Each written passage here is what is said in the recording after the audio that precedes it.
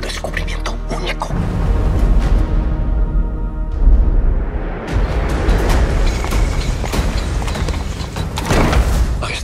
Hay un camino más corto para llegar a las Indias de sus riquezas. Lo descubriré para vos.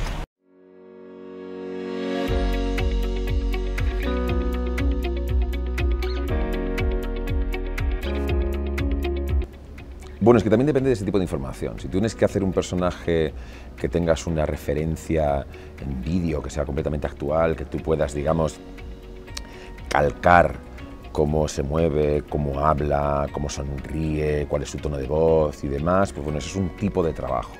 Aquí había cierta información sobre el cano, bien es verdad que tampoco hay una, no hay una información eh, demasiado, demasiado extensa, eh, pero bueno, eso también te permite el que, el, que, el que todas las parcelas de las que no hay información, eso lo aportas tú, lo aporta guion, lo aporta dirección, lo aporta producción. ¿no? Entonces, eh,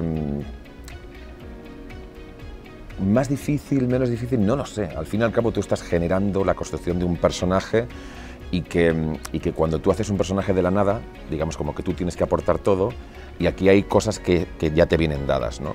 Y luego tienes que terminar de construirlo e interpretarlo igualmente. O sea que la, diferencia yo tampoco te, diría que es mucha.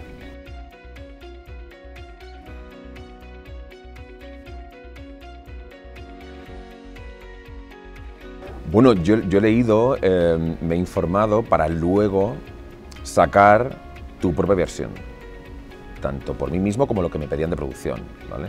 Y de dar también, de cara a la base de la interpretación, hay cosas que tú trabajas que luego no se ven o que luego no se verbalizan, pero que te dan una consistencia a lo que es la, la interpretación.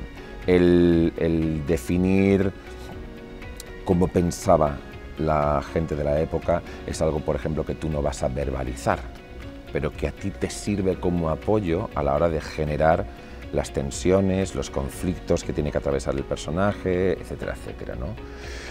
Ese es un poco el, el trabajo que vas haciendo.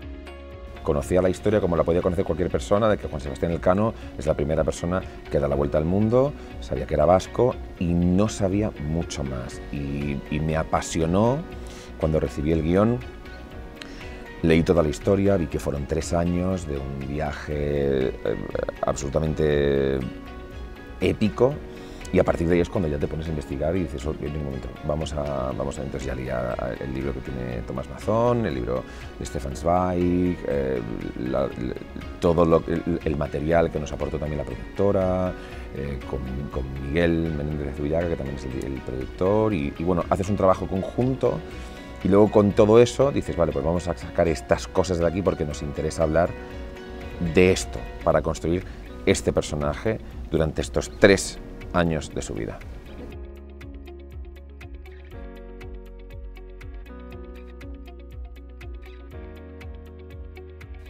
Es que por eso también pensé que era importante contar esta historia, porque es una, es una figura muy importante que tenemos aquí, que cambia la historia, no ya de España, cambia la historia de la humanidad. Eh, eh, cambia la forma de hacer negocio en el siglo XVI, cambia eh, el comercio, eh, cambia las rutas, o sea, cambia muchísimas cosas y, y, creo que es un personaje que, creo que debiéramos poner mucho más en valor en, en, este país, pero no nos pasa solamente con el Cano, nos pasa con muchísima gente, con muchísimas figuras que tenemos aquí que no se le da a lo mejor el bombo que, que se le puede dar en otros, en otros países. ¿no? O sea, hablaba antes con otra compañera tuya que los británicos tienen a Shakespeare y nosotros tenemos a Cervantes y la gestión que hacen ellos de Shakespeare y la que hacemos nosotros de Cervantes no tiene nada que ver.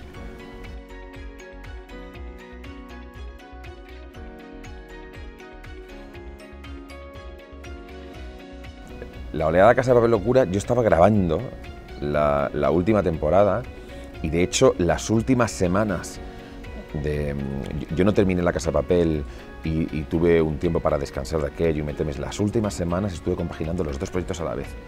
Um, a mí me llamó, me llamó Miguel oye, que tengo este proyecto entre manos, me gustaría que hicieras el cano y demás, no sé cuánto, lo queremos grabar en estas fechas, grabaremos aquí, grabaremos en República Dominicana, en el País Vasco, tal.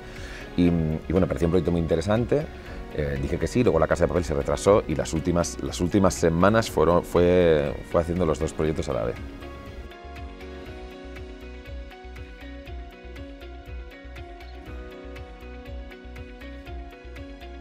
No hay nada, lo haces tú, la cámara ayuda un poco porque la van moviendo em, de, una forma concreta para, que parezca que es el vaivén del arco, pero, pero bueno, es que hoy por hoy se graba, se graba mucho así, cada vez más. Yo vengo de hacer también la rueda del tiempo y hay mucho efecto especial, también hay mucho croma, lanzamos mm, como ondas de, poder, ¿no? Y, y, eso tú lo estás ahí y tú confías en que luego el poder de los ordenadores hagan que esas, mm, esas ondas de lo que sea eso, del poder único que le llamamos, em, sean suficientemente creíbles, pero tú tienes que hacer el trabajo al fin y al cabo de interpretar, básicamente, de imaginarte esas ondas o que tú teniendo un croma delante como hemos tenido durante mucho tiempo en la grabación del Cano, pues que de repente te encuentres con el Océano Pacífico ¿no? y, que, y que haya cierta emoción en todo eso cuando lo que estás viendo es un croma.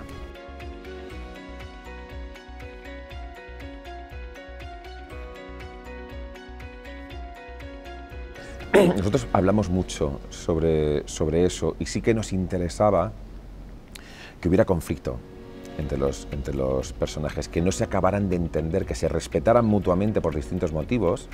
Al Cano le parece muy interesante que este tipo tenga ese objetivo tan claro en la vida, que sea tan perseverante y, que sea tan tozudo, pero con ese objetivo en, en, mente y que arriesgue lo que haga falta arriesgar para eso. Y a Magallanes también le, le parece, le parece muy interesante cómo el Cano gestiona con la tripulación que, él no llega a tener empatía con, la, con, su tripulación. ¿no? Desde ese sitio él, él directamente comanda, él da órdenes. Y, la figura del Cano entiende a sus hombres y de esa forma sus hombres, le, como él respeta a sus hombres, sus hombres le respetan a él y eso es una parte que, que Magallanes también envidia mucho. ¿no? Y desde ese conflicto, pero de respetarse uno a otro, desde ahí es de donde hemos construido un poco la relación entre ellos.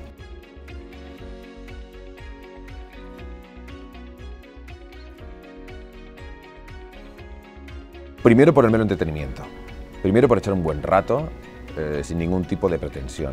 Y luego creo que es una parcela de nuestra historia muy bonita para, para descubrir. Creo que la gente se va a sorprender con, con, todo lo que estos marineros llegaron a pasar durante, durante una epopeya tan increíble. Es preciso que le tengan miedo. Rey os exigió que compartierais vuestras decisiones conmigo. Y eso es precisamente lo que estoy haciendo. ¡No! Los hombres dudan de que ni siquiera sepáis a dónde vamos. Os acusan por traición.